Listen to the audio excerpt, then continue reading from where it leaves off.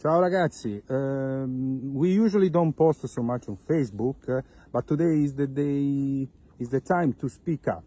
We are here in Ivanovka, you can see the, the sign just beyond of us, surrounded by amazing vineyards, and uh, just 50 kilometers apart from uh, Nagorno-Karabakh.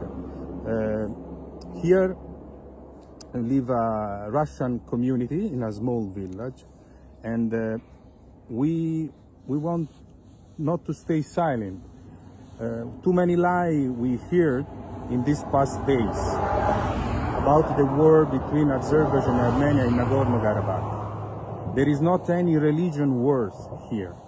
There is not any terrorists. There is not any foreign fighters. There won't be any genocide. Please stop to spread this false information. Uh, here, Pana, it's the actual example of what means this war. For example, where are you from? Fana? I'm from uh, Agdam, city of uh, Karabakh. So uh, since I, when I was uh, six years old, uh, I live uh, I live in I live in Baku. So consider that more than 29 years I am living in uh, Baku. Like refugees. Uh, of course.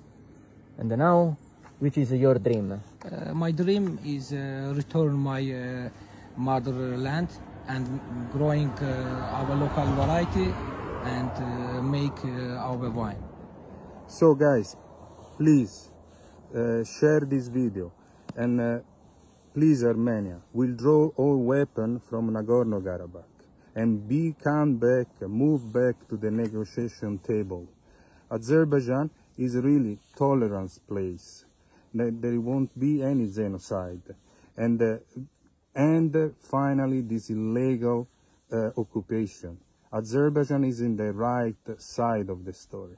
It has uh, the international law on, the, on their side. And how many years that you are here?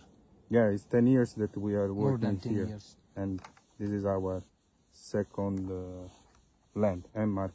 The second land. Yeah. In peace and multicultural.